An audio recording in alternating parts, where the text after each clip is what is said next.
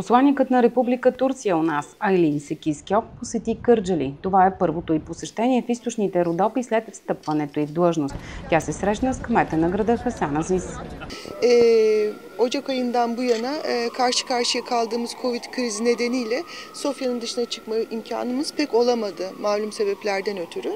Аз започнах януар месец на поста, но заради пандемията и мерките за коронавируса не можах, а, нямахме много възможност да излезем извън град за София. За първи път излизаме така.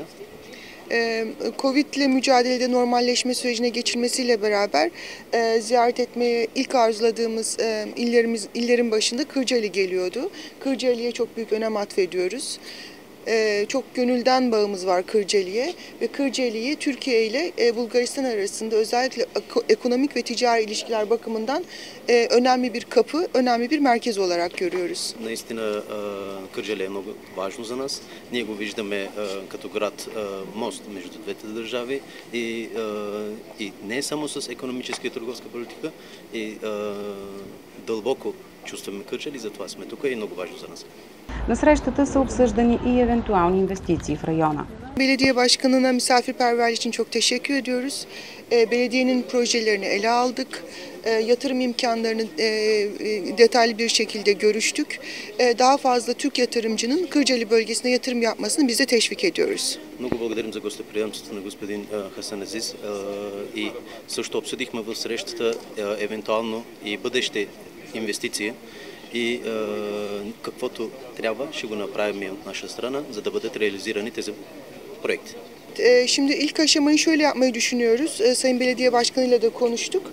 E, e, Özellikle organize sanayi bölgesinin Türk yatırımcılarına daha potansiyel yatırımcılara daha iyi tanıtabilmesini teminen e, belki e, ilk aşamada Covid krizini de dikkate alarak online toplantılar gerçekleştireceğiz. Ticaret müşavirlerimizin katkısıyla.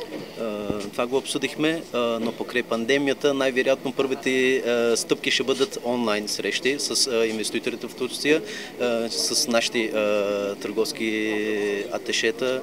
Заедно ще направим най-вероятно първо онлайн среща и след това ще, бъ- ще бъдат реализирани проекти, ще бъдат на втората стъпка.